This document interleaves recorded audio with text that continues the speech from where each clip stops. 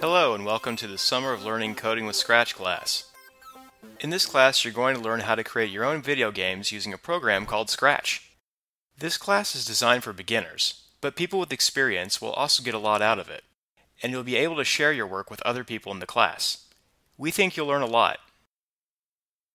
Scratch is a great tool because it's pretty easy to get started with, and it's a lot of fun, but you can actually build some really cool games with it and learn some sophisticated computational skills along the way. So we're going to look at how to do that. As you can see, it allows you to build games with your favorite characters, be interactive, and introduce interesting storylines.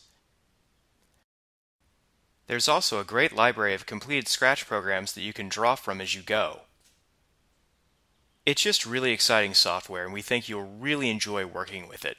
It's a lot of fun. And the Scratch website just has so much cool stuff to play with. So in this class we're going to present five challenges, one challenge each week, all using the Scratch software. We'll give you something to use for each challenge, but we'll also allow you to be creative.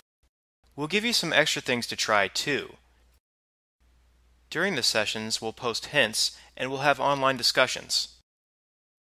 At the end of the week, we'll pick our favorite games and post them to our Hall of Fame.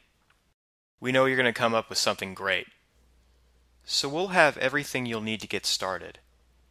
And once you finish, you'll be able to get a badge through our badging system.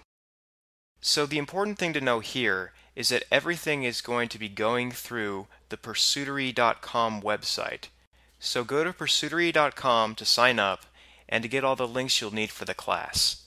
Let's get started.